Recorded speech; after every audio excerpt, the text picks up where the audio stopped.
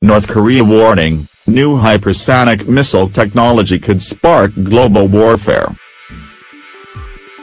Russia, China and the United States are the three main players developing hypersonic missiles which can blow any other types of missiles out of the sky. The new missiles will be highly maneuverable, unlike current missiles and be able to fly at up to 25,000 kilometers per hour, 15,534 miles per hour, or more than 25 times as fast as a modern airliner. They will also be able to get between altitudes ranging from a few tenths of kilometers to 100 kilometers, much lower or higher than current surface-to-air missile systems. The trio of characteristics means they will be highly unpredictable to their targets and will only be traceable six minutes before they hit, giving nations almost no time to react. They are especially dangerous as, due to their incredibly high speed and ability to accurately target, they will be seriously destructive with or without an explosive warhead attached. A study into hypersonic missile nonproliferation by the highly respected U.S. think tank, RAND Corporation, has warned there is probably less than a decade available to substantially hinder the proliferation process.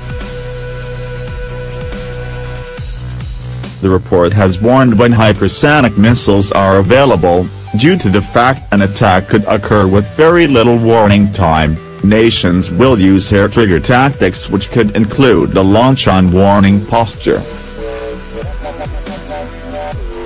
There are fears nations which do not have advanced missile detection systems, such as North Korea or Iran, will be so threatened by hypersonic missiles they will cause further instability in regions. The report said, we believe that the unpredictable trajectories, resulting in target ambiguity, and the ability to penetrate most defenses, will affect some nations' defense postures and increase instability in some regions.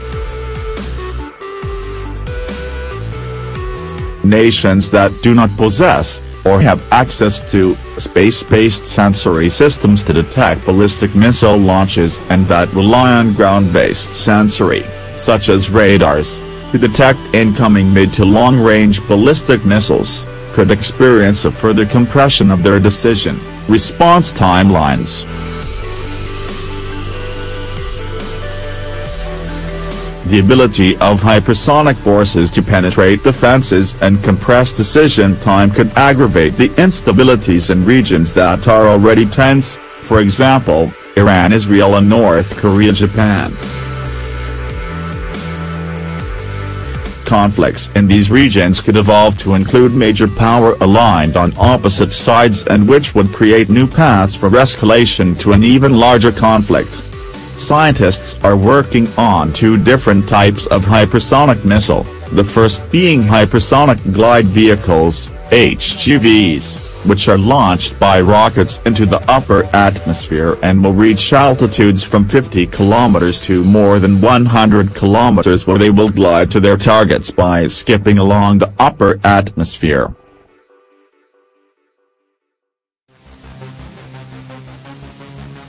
HGVs can vary their impact points and associated trajectories as they fly, and also fly at lower altitudes to ballistic missiles.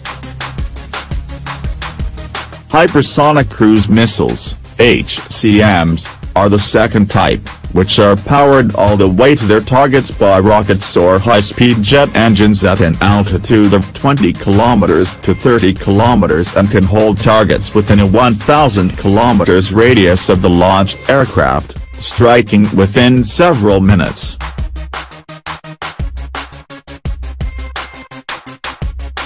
At the moment, the three major nations developing hypersonic missiles are Russia, China and the US, with France and India following closely behind, and several other nations behind them, including the EU, Brazil, South Korea, Canada, Iran, Israel, Pakistan and Singapore.